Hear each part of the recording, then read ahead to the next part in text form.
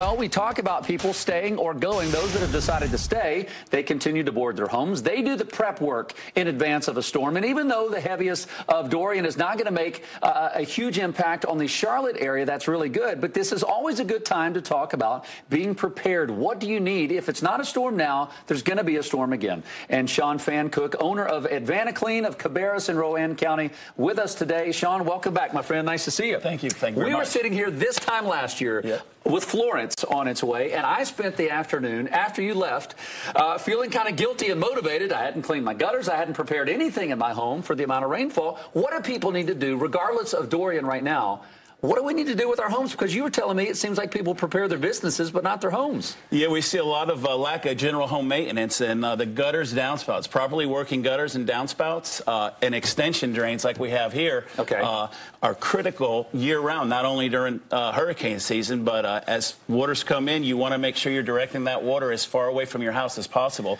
So having a good drainage system will help yeah. you keep the water away from your foundation and, say, get yeah. into your crawl space. And we see that as a general home maintenance them year round. Well, that's a great idea. You brought in some heavy duty kind of plastic and duct tape. What, what can this be used for? So you can use that to stop water as well as, as part of a sandbagging system. Okay. So if you've got doors or, and windows or low-lying areas that are uh, uh, subject to flooding, get your a good sandbagging system in place, and uh, you can put the uh, block the door with the plastic before seal it yeah. up with the duct tape, and then get the uh, sandbags oh, up against it. Oh, that's smart. Okay, what are we doing with the, with the bug sprayer if, here? If you get a little bit of water in there, that's an antimicrobial solution just used for cleaning. Uh, we've got some rags as well, but uh, the uh, you know just trying to get it cleaned out as quick yeah. as possible. We've got the towels there as well as you're trying to get the water out as quick as possible, but then using a good uh, cleaning solution to uh, to get it cleaned up to make sure you're not having any mold growth yeah. start anything like that. Sean, listen, our time is short this morning because of what we're dealing with, but the key is to prepare before something comes, not after, and then you have to make the call, which is what you guys are certainly known for. Uh, you can go online to find out more